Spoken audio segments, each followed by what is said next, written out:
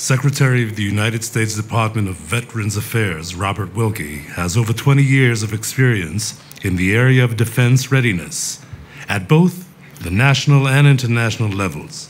He's a colonel in the U.S. Air Force Reserves and is the highest ranking member of U.S. administration to ever visit this site. I have the honor to call upon Secretary Wilkie.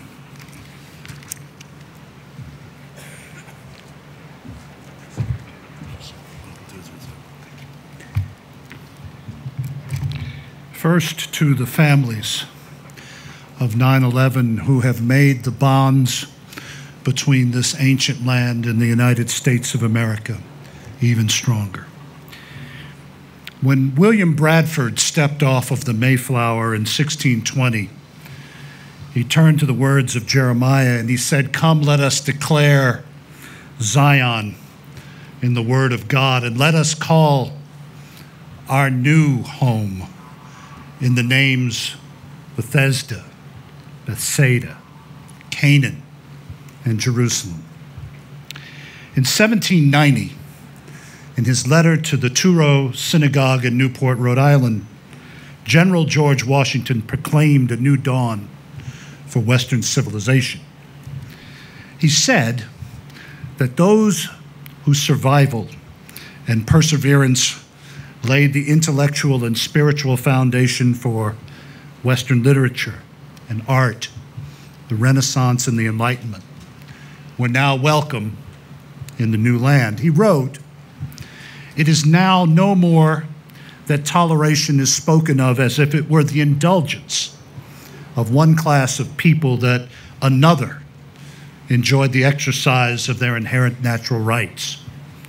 And he said, May the children of the stock of Abraham who dwell in this land continue to merit and enjoy the goodwill of other inhabitants, while everyone shall sit in safety under his own vine and fig tree, and there shall be none to make him afraid. General Washington was not preaching mere tolerance, he was calling for revolutionary acceptance.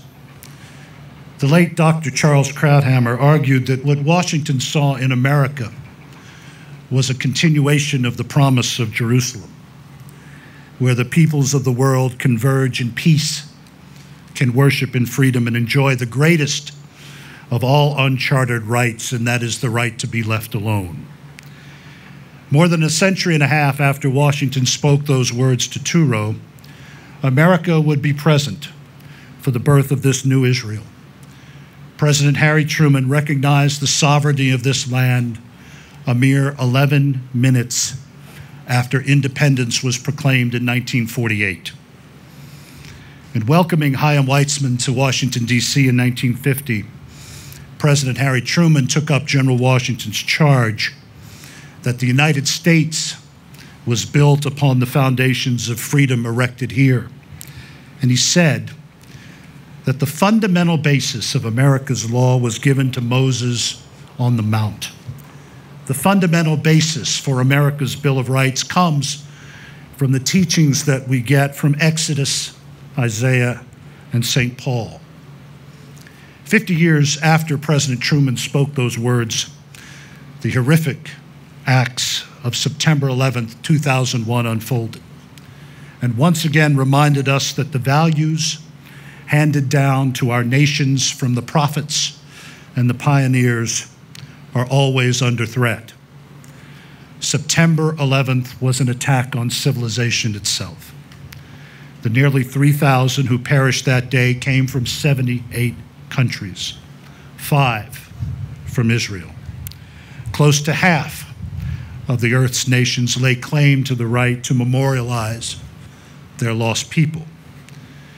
It was an act of violence born of religious hatred, an evil inversion of George Washington's grand vision for America that he described in that letter to Touro, where he said that the United States of America gives to bigotry no sanction and to persecution no assistance. It is no surprise then that the events 18 years ago would strengthen the deep bonds between the United States and Israel. Each year, we visit this hallowed site and marvel that the people of Israel could take part of the wreckage from New York City and make something beautiful and hopeful from it. It is a deep gesture of affection between our two nations that expresses the depth of our historic relationship and teaches us the true meaning of words like friendship and courage. We take it as a special sign of kinship that is so deep that we are not only content to share our triumphs, but we are compelled to share our tragedies. It was that sense of gratitude and affection and admiration that led our president to say that America's flag will permanently be planted in this holiest of cities. Because of that vision, from time on, no American will ever have to repeat those hopeful words next year in Jerusalem. So, on behalf of the President of the United States, we thank Israel. We thank Israel for being a place on earth with whom our people share everything in freedom. God bless you and thank you.